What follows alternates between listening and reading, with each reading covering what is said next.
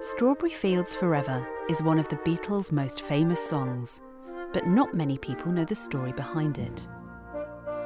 When John Lennon was growing up in Liverpool, Strawberry Field was a Salvation Army children's home near the house where he lived with his Aunt Mimi. For John, Strawberry Field was a place of refuge in his troubled childhood. He and his friends would often climb the wall and play on the grounds of Strawberry Field. Many years later, at the height of his creative powers, John would cast his mind back to his childhood days to write one of the Beatles' most memorable songs. Him and a group of lads used to come and whistle for the girls, and unfortunately, we had a very large tree in the garden with a thick, thick brand that they used to sit on and whistle to the girls. John Lennon was a good lad, really. He was a nice lad, old John. was very good. Strawberry Field opened in 1935 as a home for girls. By the 40s and 50s, the place had expanded to welcome boys. Throughout the decades, Strawberry Field continued its mission, adapting to the changing times. When they first came in, they were frightened little objects and worried about whether they were doing the right thing or not, you know? But eventually they learned to trust us and uh, we saw them grow up and, and they were able to be happy. In 1980, John Lennon was shot dead in New York.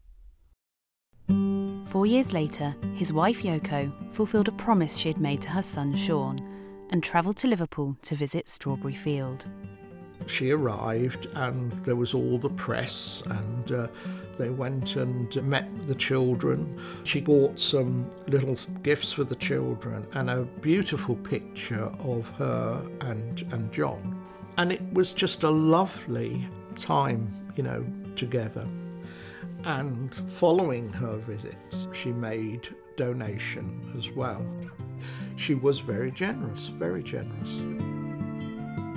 By 2005, residential homes were no longer deemed the best place to care for vulnerable children, and Strawberry Field was closed.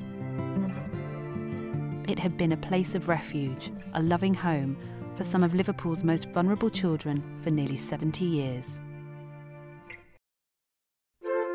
But the Salvation Army is keeping the Strawberry Field legacy alive. Plans are on their way to reopen Strawberry Field.